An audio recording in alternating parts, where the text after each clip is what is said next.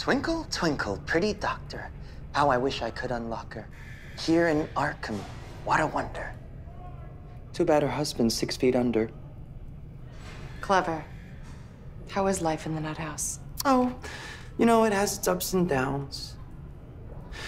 Forgive me for saying this, Leslie dear, but um, you don't look yourself.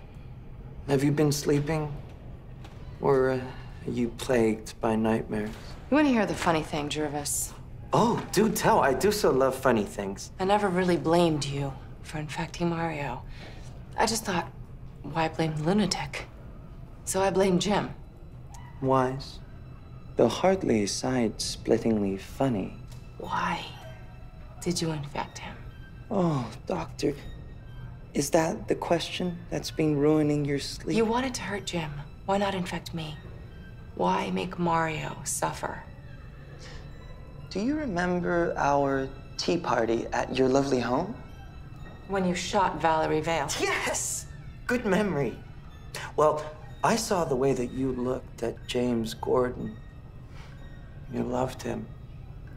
And that love doomed Mario. That doesn't make sense. It makes perfect sense! Jim Gordon does not deserve love. Jim Gordon does not get love. I infect your husband. You blame Jim. Your love for him becomes hate. It makes perfect sense. And it worked. But you know the funny thing? There's poor Mario, cold in the ground.